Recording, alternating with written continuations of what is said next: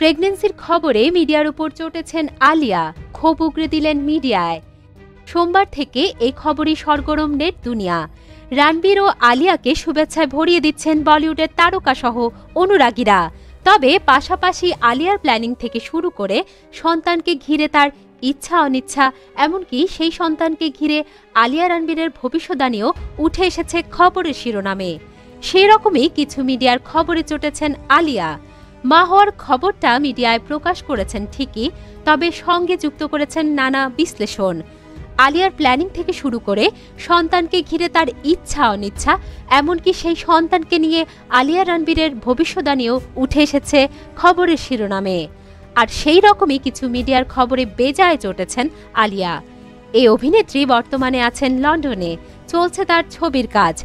খবরে সেগুলো নিয়েও কথা উঠেছে। বিশেষ করে এক সংবাদ মাধ্যমে প্রকাশিত রিপোর্টে তার মেজাজ খারাপ হয়ে গেছে।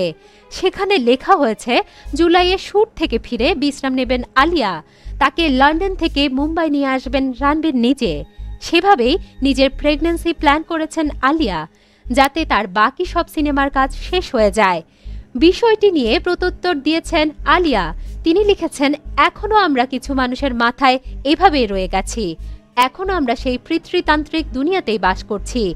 কোনো কিছুই পিছিয়ে যাবে না। কেউ কাউকে তুলতে আসবে না। আমি একজন নারী, পার্সেল নই। আমার বিশ্রাম নেওয়ার কোনো দরকার নেই। কিন্তু জেনে ভালো লাগল যে আপনারা সবাই চিকিৎসকের সার্টিফিকেট প্রাপ্ত। এটা দু হাজার বাইশ সাল। আমরা এ ধরনের ধারণা থেকে দয়া করে বের হতে পারি? এবার আমাকে যদি অব্যাহতি দেন, ভালো হয়। আমার শর্ট রেডি। সোমবার আলিয়া ভাট তার ইনস্টাগ্রাম আইডিতে মা হচ্ছেন জানিয়ে ছবি প্রকাশ করেন। এতে দেখা যায় এই অভিনেত্রী হাসপাতালের বেডে শারীরিক চেক আপ করাচ্ছেন। ছবি বলে দিচ্ছে, অনাগত সন্তানের হার্টবিট দেখে খুশিতে আত্মহারা এই বলিউড নায়িকা।